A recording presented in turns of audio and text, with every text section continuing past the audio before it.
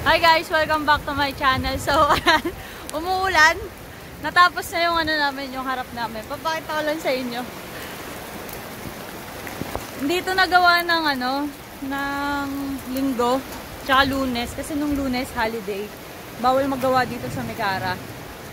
So, ayan, ligo kami sa ulan eh. Medyo malakas yung ulan ngayon. Nagawa na. Ito yung manhole. Yan yung manhole namin. Ayan. Ayan na yung harap. Ayan yung buong harap. Tapos, nilagyan ko lang siya ng graba dito. Kasi, hindi pa namin pwede isagad. Kasi may poste kami dito eh. Magkakabit pa ng kuryente to. Ayan na, tapos na siya. Mukhang ano, mukha siyang malapad kasi walang gate. Pero malapad din naman kahit may gate. Ayan. Diba? Advice ko lang sa inyo, sa panahon ng quarantine at sa panahon ng um, ECQ or GCQ, huwag muna kayo magpapagawa. Pero kung may pera kayong malaki, sige magpagawa kayo. Kasi yung materials po, sobrang mahal. Akala nyo lang na mura lang yung sa umpisa, pero hindi talaga eh. Kasi ito, yung gawa nito, ang usapan namin dito, 6,000 lang to. Tapos, namili na yung magagawa nito. Nung namili siya, umabot yung materials ng 5,800. So, yung sa 6,000 na yun, dapat kasama na yung labor doon.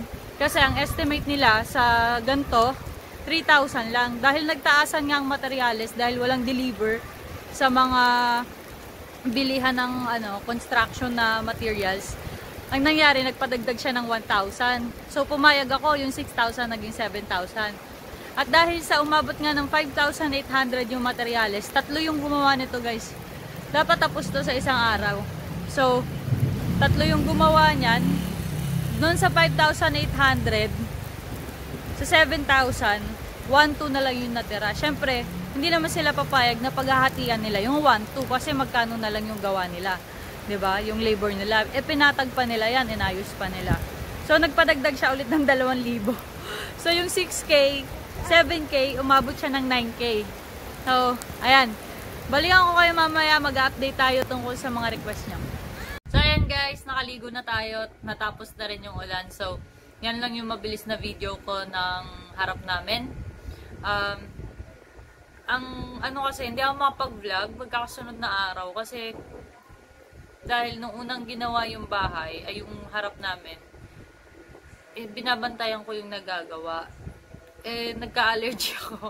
so, ayun, nagka-allergy ako, nasunog ako actually. Mukha ko, yung yung mga paa ko, yung kamay ko yan, nasunog, tapos may butlig-butlig siya. So, nagka-allergy ako dahil sa alikabok, sa buhangin. So, akala ko kasi hindi na mangyayari.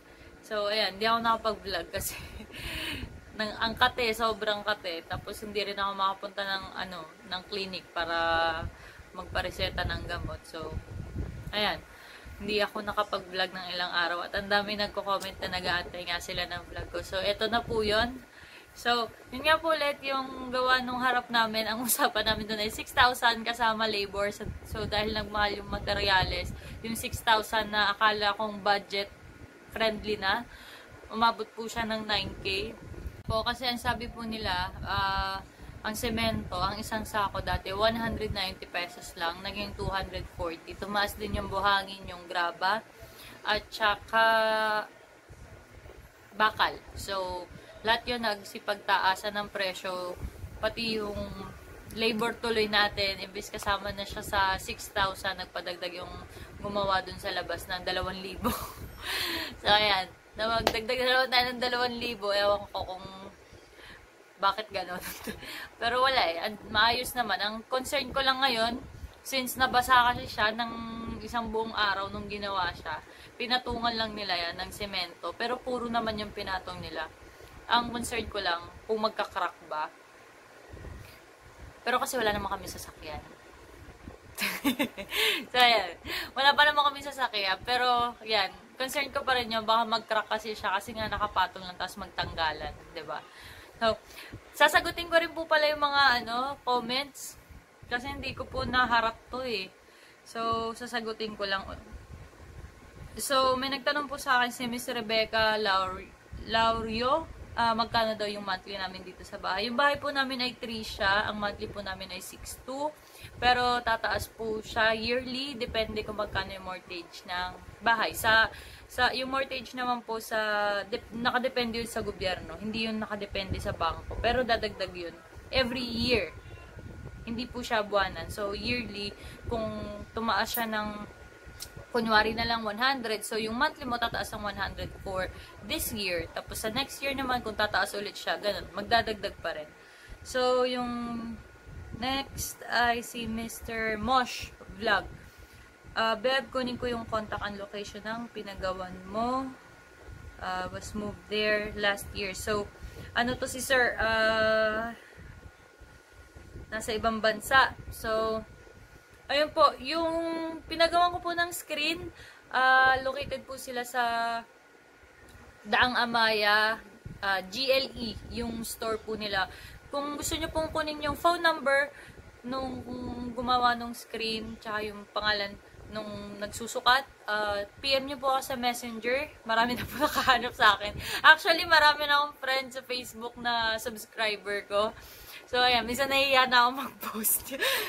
so, basta yun, uh, PM, na, PM nyo na lang po sa messenger, bibigay ko po yung info. Kasi lagi na rin sila nandito sa Mekara, may mga sinusukatan na rin sila. Para mapasabay na po. Kasi, ngayon nga, sabi nung gumawa nitong screen sa akin, um, nahihirapan din silang kumuha ng supply. So, hanggat maaari, pag may nagpasukat, isang sabay na nilang ginagawa para pag-deliver, isang gate pass na lang din sa pagpasok ng mga screens. Kasi pag pinasok, kailangan pa rin kumuha ng gate pa sa office. So, yun yung ginagawa nila. Sa info po na yan, PM nyo lang ako. Okay, bibigay ko po yan sa inyo. So, kay Mr. Jake Talibong, same question. Saan located yung shop? Doon po sa may daang Amaya. Hanapin nyo lang po, um, GLE. Malapit sa Sabungan. Yun po yung store nila. So, 20 years na sila doon. Pag tinanong nyo po naman po siguro doon sa area na yung tingin ko, mararecognize kasi nga, yun lang yung business nila, family business yun. So, tingin ko naman hindi po kayo mahihirapan. So, tatanungin, ay, sasagot, tatanungin. Sasagutin ko na rin yung may ibang comments sa ibang video ko. So, ayun, may nagtanong kung required by my uh, required ba my contractor. Hindi po required my contractor. Choice nyo po 'yon. Uh, lagi kong sinasabi, pag magpapagawa kayo, kung may kakilala kayo, wag na po kayo magpagawa dito sa loob. Kasi mapapamahal po kayo. Dahil bukod sa uh, estimated nila na labor, tsaka sa materials, meron pa pong nakukuha yung magsasabi sa inyo kung sino yung pwedeng contractor, yung referral. Kunyari, nagtanong kayo sa guard. Si guard may ni-refer sa inyong contractor.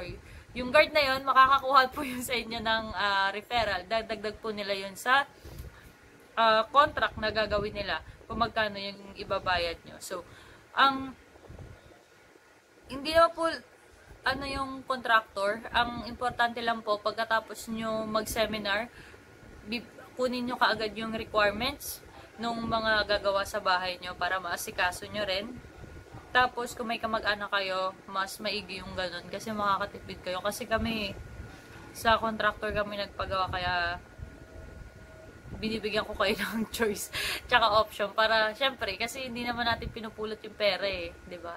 So yan, para imbis na ibuhos nyo sa isang gawa lang yung budget nyo, kung makakatipid naman kayo doon, may magagawa pa kayong iba para sa bahay, 'di ba?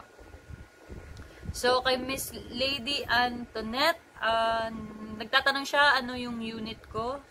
So, yun, nag-aantay siya ng mga uploads. Uh, thank you po, Miss Lady Antoinette, sa pag-aabang ng mga uploads ko. Ewan ko lang kung nakakatulong talaga tong video na to, ha, yung mga video ko. So, yun po, yung unit ko po ay yung 3 siya. Ito po yung pinakamaliit na unit sa Mikara. 2 bedroom, 1 bathroom. Tapos, yun, maliit lang talaga siya. Good for, ano lang to. Sa tingin ko, ah, good for, ano lang, mga lima katao, kasama mga bata. So, yun, nagtanong ulit si Miss Lady Antoinette ang um, kung may balita na ba, naayos na daw ba yung uh, sa labas ba to? Ah, okay, nakakuha siya ng bahay sa phase 6. So, Felicia unit. Ito yung bagong unit na nilabas ni Mekara. So, yun. Sana gawin na nila. Pero, yun po, yung sa mga lilipat na sa phase 5. Once na nag-resume naman po sila at bayad nyo na po yung bahay at for move-in na po kayo, ipa-priority po nilang tapusin yung bahay nyo. So, mas maganda yung lilipatan nyo siya ng bago para makita nyo rin agad kung may mga sira. Para bago nyo matanggap, magawa na agad, di ba? Ayan. So, So, yun, kay Mr. Jumadsky, magkano nagastos mo sa pagpapasemento ng harapan? Sir, 9K, sir. Pero kung may kakilala kayo, sir, kasi yung labor natin medyo malaki, 3-2. Tsaka yung materialis din naman. Pero kung may kakilala kayong gagawa, pagawa nyo na lang. Meron dito mga homeowner, guys. May mga homeowner dito na gumagawa sila ng bahay nila. Sila lang. As in, sila, sila lang. Nagkakanva sila, namimili sila, tapos sila lang lahat nag-aasikaso. Pakunti-kunti pero alam mo yung pag ikaw gumawa, mas maganda. Nala.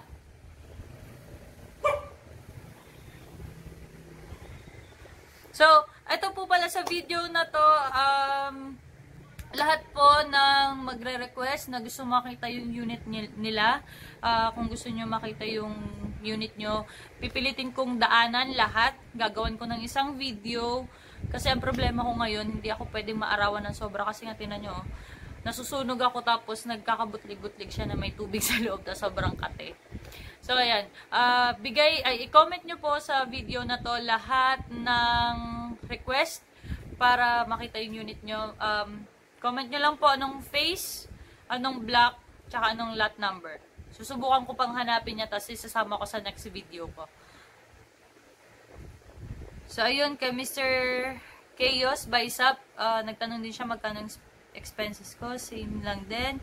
Kay Mr. Mike uh, G, uh, Miss Mick G, yun po. Nagabang siya ng mga videos ko na upload. Uh, thank you po for watching my video. Sana po natulungan kayo. so, ayan. Uh, ayan, may nagtanong, magkano po ang construction bond fee sa Mikara pag magpapa-extend sa likod at harap? So, yung bond po, kahit anong pong paggawa nyo sa bahay nyo, as lo, basta yung gawa po niya ay, kunyari yung sa harap, yan po kailangan po ng band. Sa likod na extension, kailangan po ng band. Pero yung band po nila, iisa lang. Yun po yung 10K. Magagawa nyo na po lahat ng uh, pwede nyong gawin pagpapagate, pagpapa-extend sa taas, sa likod. Tiles, kailangan din po ng band. Pero yon sa lahat ng gawa, isa lang po yung babayaran yung band, 10k. Ang karamihan ng homeowner dito ang ginagawa nila, kunyari, nagpa-tiles lang sila. Tapos nagbayad na sila ng band na 10k. Tapos nag-iisip pa sila in the future na magpapagawa din sila sa susunod. Hindi na po nila kinukuha yung band nila. So, hinahayaan na lang nila doon. Ang nangyayari kasi, yung band na yon pag hindi po nasunod yung gusto ni Mikara na dapat nyong gawin lang sa bahay nyo, hindi nyo na po makukuha yung band. Pero kung kaya nyo namang i-risk yung 10k at masusunod yung gusto nyo, wag nyo lang sasakupin yung lupa ng may lupa, okay naman po yun. Pero masusunod yung plan, plano nyo, kagaya na sa uh, service area namin. Ang, gust, ang required ni uh, munisipyo ng Tansa, kailangan may fire exit. So, yun, kung gusto nyo ipasarado yon wag nyo na rin, ano, isipin na makukuha nyo yung bad nyo. Kasi pag inspection, hindi nila yan i-release. So, kaya yung ginagawa ng iba, iniiwan lang nila yung band nila doon. Pag magpapagawa ulit sila, nagre-renew lang sila ng permit. Hindi na sila nagpapa-inspect. So, nare-renew lang nila yung permit. So, kung gusto niyo naman makuha yung band nyo, balik kayo sa office, pagkatapos ng gawa, kunin nyo yung, um, hanapin nyo yung, uh, nagbigay sa inyo ng requirements para sa construction tsaka dun sa band. Tapos, sila yung mag-schedule sa inyo ng sila, nawala ako. Sila yung mag, ano, schedule sa, inyo ng inspection. So, pupunta sila sa bahay nyo, pipicturean yung bahay nyo. Tapos, antay lang kayo ng 2 to 3 months sa kanyo makukuha yung band nyo. Yun po yan. Medyo magulo, no? Naguluhan dito. so, So, may nagtanong, uh, pwede po ba magtanong kung magkano yung pa-extend ng harap kapag Porsche model si Miss Belinda Fajardo? Um, regarding po sa extension sa harap, mas malaki kasi yung lupa ng ano eh, ng mas malaki yung lupa ng Porsche. Pero kasi, ang estimate sa amin dito, ng contractor ko dati, sa Tricia unit, 350,000 po yun. Kasama ang labor at materyales. Nung huling nakausap ko siya, kasi nga syempre nagmahal din yung materyales. Ang sagot niya lang sa akin, kasi nga yun, may nagpi-PM din sa akin, magkano yung ano, extension, magkano yung gate, totoo ba talaga itong presyo na to, makatotohanan ba talaga. Nung tinanong ko siya, ang sagot niya lang sa akin, uh, sabi niya, hindi ako makakapag-quote ng presyo sa ngayon, sabi niya sa akin, kasi nga nagtaas lahat ng materyales. So, yung 350 po na yun, magtataas ulit yun. So, advice ko po sa inyo kung budget po yung pera nyo sa pagpapagawa, antayin nyo lang pong matapos yung ECQ. Medyo matagal-tagal man pero ganun po talaga. Lahat naman po tayo apektado. So, yun po. Uh, yun, may nagtanong kung pwede niya makuha yung contact number ng contractor ko. Ayun po, yung contractor ko kasi, kahit ibigay ko po sa inyo, hindi na rin po siya makakapagawa. Kasi, kukunin na siya ng fill invest. Ayan. Tinatapos niya lang yung ECQ, tsaka yung mga tenggang gawa niya dito. Kasi hindi na siya tumatanggap ng gawa eh. Kukunin siya ng fill invest, doon na sila maggagawa. Ah, siya na yung mag, uh, gagawa doon ng bahay mismo sa fill invest. So, syempre, mas mabilis na kitaan yon Kasi, may materialis na, magbibigay ka lang ng tao, titingnan mo lang yung mga tao mo kung ginagawa yung mga bahay. So, ayun po. Pero marami naman po dito magagawa. Alam po ah, hinahanap ko lang. Nabasa ko na lahat ng comments. Wala na pala. Ay, nag-post ako doon.